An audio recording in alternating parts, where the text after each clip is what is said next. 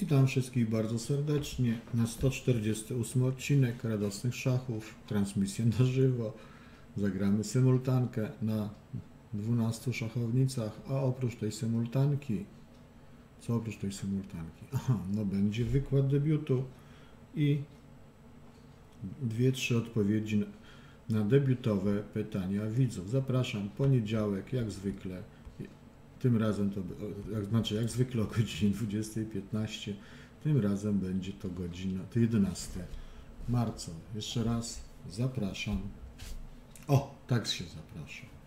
Dziękuję za uwagę.